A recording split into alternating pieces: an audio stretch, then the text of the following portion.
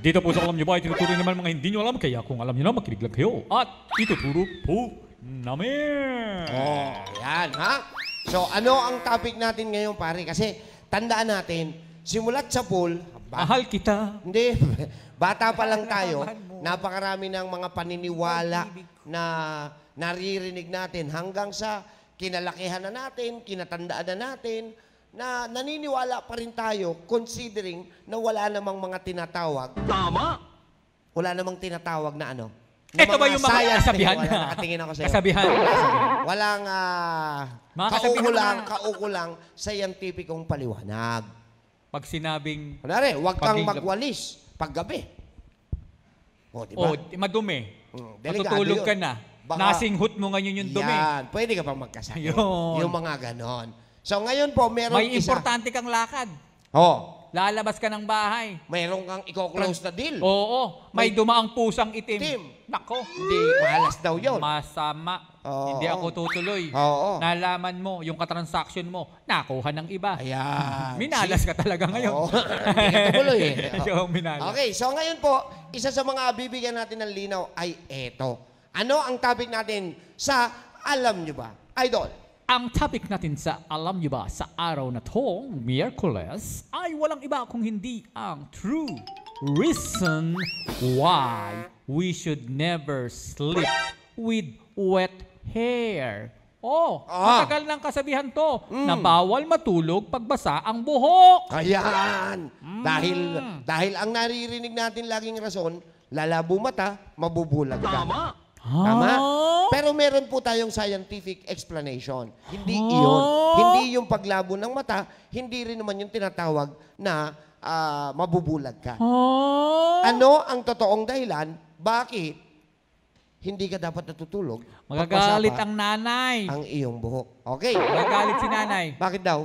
Mababasa yung unan. Which is totoo. Pero ito po ang scientific na mga Uy, may connection yun. Doon Oo sa nga. topic natin. Ayun nga, ito na nga yun. Huy, ito pa yun. Hindi yung ka totoong nakikinig sa- rason. Oh, sige. Why we should never sleep with hair. With, With wet hair. With hair. With wet hair. So, kailangan tatanggalin muna yung wig. wet, wet, wet. Sana nanonood ka, Andoy. Oh, yan. Yung wig ni Andoy? oh, oh, Nakawig ba si Andoy? Hindi. Alam ko. Totoo natural yun. Oo. Totoong nakapatong lang yan. Ah, kung Kasi- gusto mong palawigin ang iyong buhok, gumamit Kaya- ka ng Synergia Hair Essential. Okay, sige. Okay, eto na. Paliwanag na natin. Okay. After a long day, a hot and steamy bath doesn't just to get you clean. It also washes away stress and fatigue, helping you relax and fall asleep easily. Aha. But, but, after the awaited shower, you feel sleepy. Oh, And you often notice that your hair hasn't dried. Ayun. Is that bad? Okay, sa, napan, kaya daw tayo naliligo sa gabi dahil pagod nga naman tayo maghapon. Alam natin medyo marumi tayo. So, we used to take a shower at night.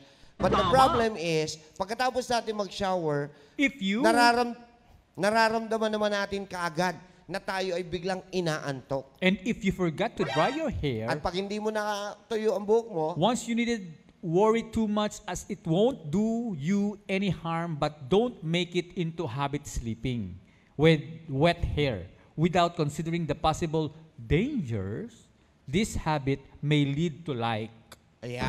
number one So, meron ding mga masamang pwedeng idulot. Yan. Oh, yan. Number Ano? one. Number one. pagtulog ng basa ang duho, buhok ay pwedeng sumakit ang inyong ulo. Okay. Headache.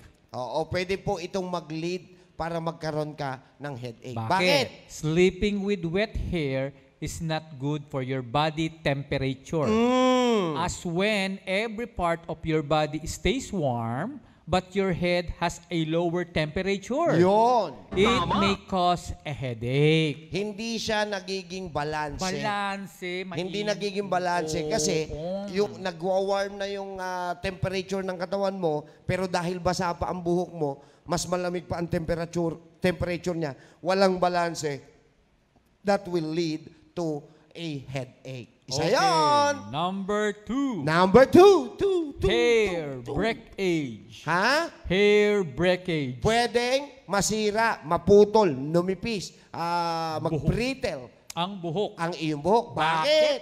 Hair is at its weakest when it is wet. Oh, ang, ang, ang buhok daw pala natin ay pinakamahina during the time na siya ay basa. As you toss and turn during your sleep, At kapag ikaw habang natutulog ay malikot ka, syempre, paikot-ikot ng konti yung ulo mo. the friction can cause your hair to break more easily than when it is dry. magkakaroon ng friction dahil basa siya, paikot-ikot ka, magkakaroon ng friction yung unan at saka yung buhok mo. So, ang tendency, pwede siyang masira. Oh. Agree ako dyan dahil Oo. nga sa pagsuklay mong nilang ganyan sa mga Oo. kababaihan, Oo, habang basa. sumasama ang buhok na Oo. lalagas. So dahil malambot siya, pwedeng malagas ang buhok. Correct. Doon sa pinaliwanag mo nga, sa friction na yun, na paikot-ikot. Yes! So pwedeng makaputol ng buhok. Oh, yan. Ah. Ha?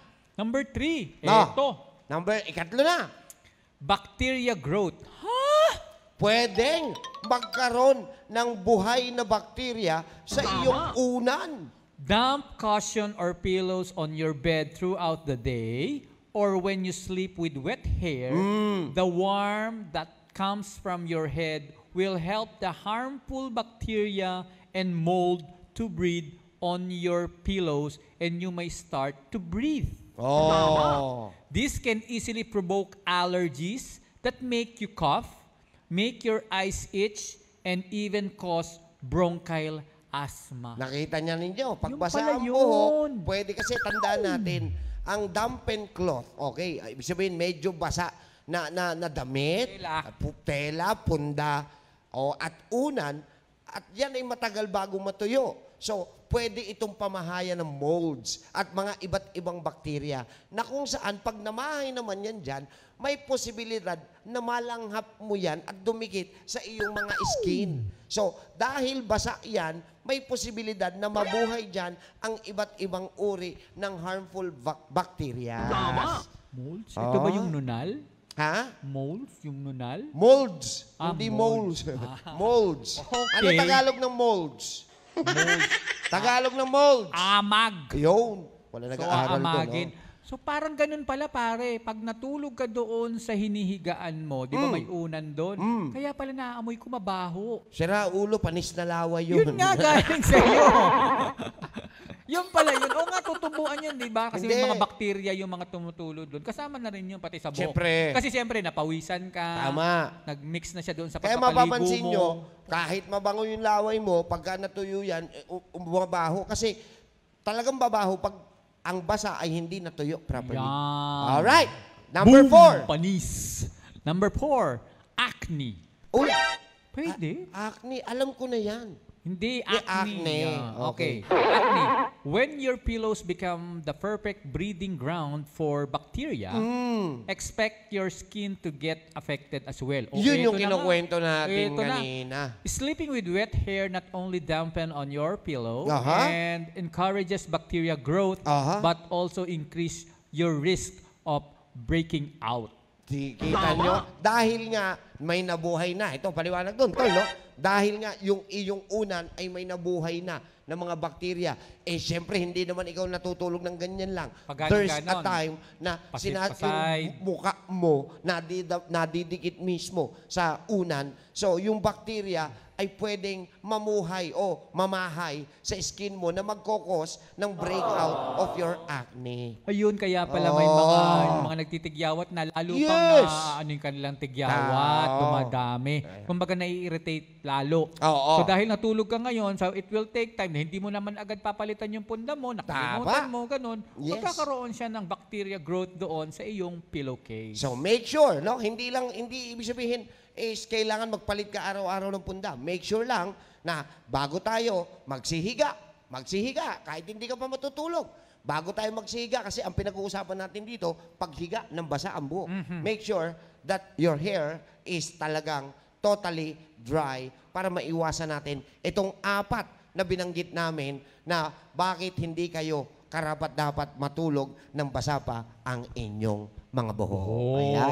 ayun. Ano ulit yung apat? Number one? So, tips to help reduce the negative effects of sleeping with hair. Ito na yon. you should dry your hair with a soft towel. Binanggit mo na ba to? Oh, yun na nga yun. Oh, Okay, yun at yun. yung apat. Ano, ano yung apat? ano yung apat ulit? Number one, Headache. headache. Hair breakage. Madaling masirang buhok, ma, ma-brittle. bacteria growth. Pwedeng mabuhay ng bakterya And acne. at magkakos ng acne. Yan. So, anong tip mo, pare? Kailangan tuyuin ang buhok. Bago matulog. Bago mahiga. Bago mahiga. Ayan. Make it sure yan ay inyong punasan. Okay. Okay. At nalaman niyo yan Dito, lang yan sa Alam Nyo Ba?